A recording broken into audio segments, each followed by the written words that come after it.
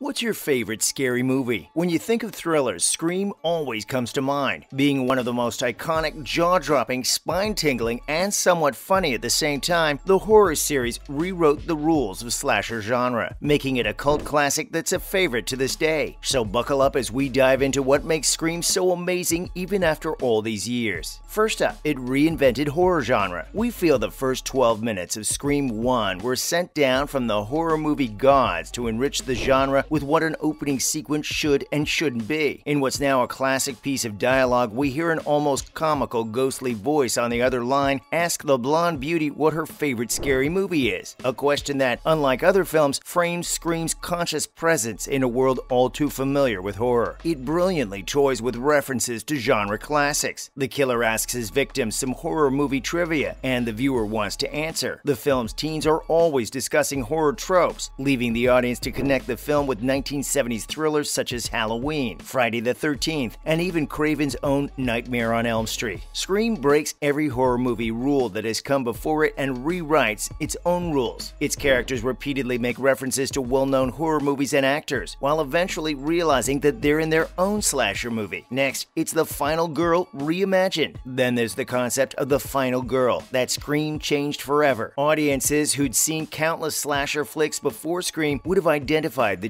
cheerful, naive blonde in the first 12 minutes as Scream's main character and had been prepared to relate to her. But they were in for a surprise. Craven's brilliant casting of Drew Barrymore in the part signaled that we'd found our protagonist. Since Barrymore was a popular child star known for her appearance in Steven Spielberg's blockbuster 1982 film E.T., as well as a celebrity member of the Barrymores, a royal Hollywood family, many couldn't even imagine that she'd be killed off in the very first scene. It just didn't make sense to the audience back then, and it wasn't a common thing to happen in horror flicks either. So when the audience saw her in Scream's opening scene being set up as the perfect final girl, the typical virginal, sweater-wearing blonde who survives the film, they were sure this was going to be their protagonist. But Scream, defying all expectations, slaughters Barrymore right in front of our eyes, and is very rude about it. After the first 12 minutes, it's evident that all bets are off, and everything and anything was possible. The sequel's openings unfortunately failed to top the original. In the second one, the audience sees Maureen and Phil, who were also playing the audience, get stabbed in the theater. In Scream 3, we see another blonde become victim to Ghostface, and in Scream 4, they take it up a notch with the Stabathon and kill quite a few characters in an attempt to top the first one. But it didn't quite do the job. The most recent one, Scream 5, saw Tara Carpenter survive the killer's attack, and her survival is important for the plot to proceed, but it just didn't do it for the fans. And now, a nod to horror classics. What makes Scream enjoyable, other than its thriller element of course, is its quick references to other well-known horror films that are sprinkled throughout the film. When Principal Himbry opens his office door and looked out into the empty high school corridor, there sat a lonely janitor named Fred, dressed in a sweater identical to the monster of Craven's A Nightmare on Elm Street, Freddy Krueger. In another scene, as Randy sits on the couch watching Halloween, the soundtrack weaves its way through Scream's events, another nod to the genre's predecessors. In the latter versions of Scream, Tara and Sam Carpenter are a nod to the legendary horror director John Carpenter, who directed Halloween. Apart from that, we see several references to the original Scream itself, such as Sam copying her dad Billy, or the killer using phrases such as with pleasure before attacking Sam. The whole series is a tribute to several classic slashers and isn't shy of flaunting it with every release. Next, the most iconic killer of all time. And how can we forget Ghostface, one of the most iconic and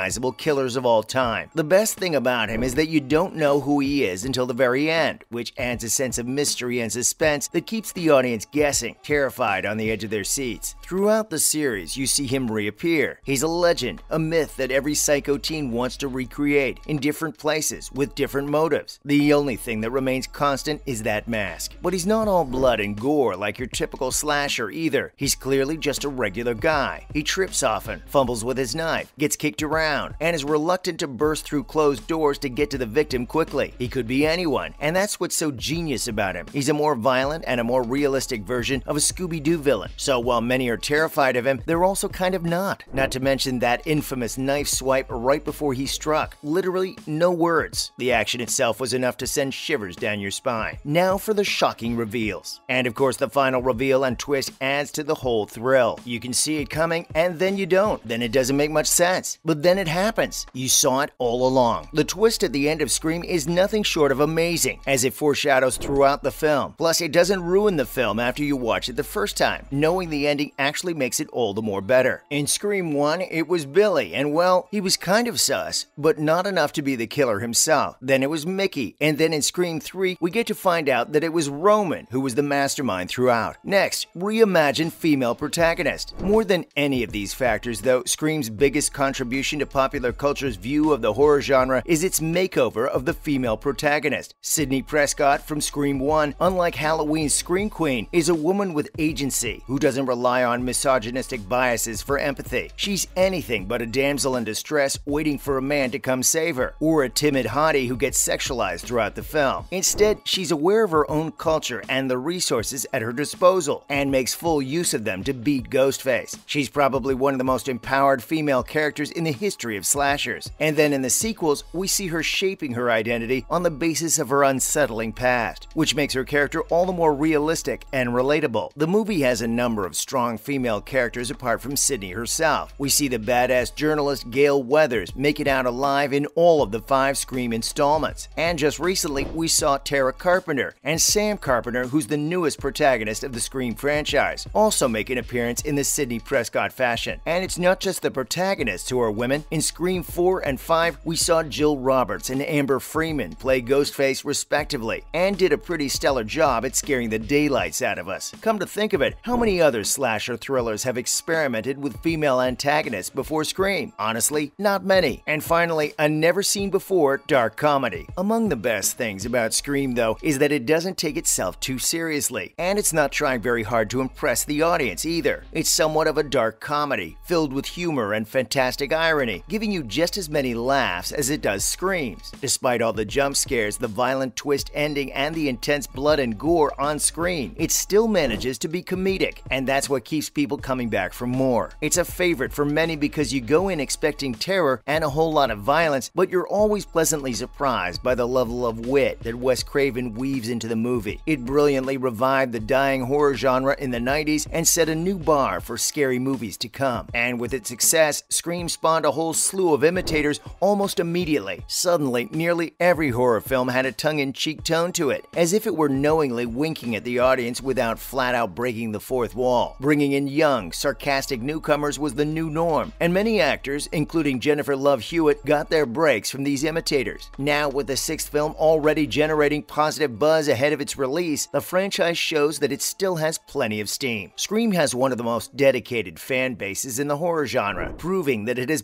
become as iconic as the films that inspired it. And that's a wrap for this video. What was your favorite Scream movie? Why do you think this series is so iconic? Comment below and let us know. Don't forget to give this video a thumbs up and subscribe to our channel for more. See you in the next one.